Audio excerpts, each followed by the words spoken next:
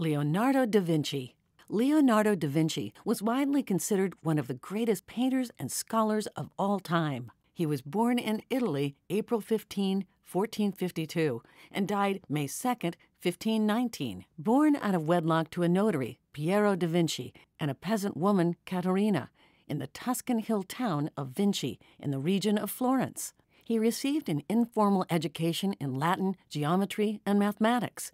Leonardo was, and is, renowned primarily as a painter. Among his works, the Mona Lisa is the most famous and most parodied portrait, and the Last Supper is the most reproduced religious painting of all time. In the present era, the Mona Lisa is arguably the most famous painting in the world. Its fame rests, in particular, on the elusive smile on the woman's face. The shadowy quality for which the work is renowned came to be called sfumato, or Leonardo's smoke.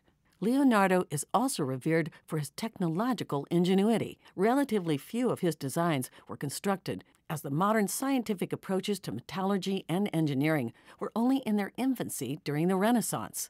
A number of Leonardo's most practical inventions, such as the flying machine, the helicopter, the aerial screw, and even the parachute, are nowadays displayed as working models at the Museum of Vinci. He also made substantial discoveries in anatomy, civil engineering, geology, optics, and hydrodynamics.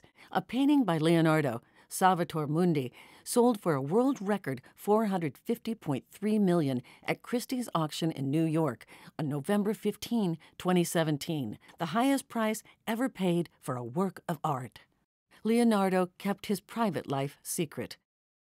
Thank you for watching. What would you like us to summarize for you? Let us know in the comments below and subscribe now to enjoy many more similar videos.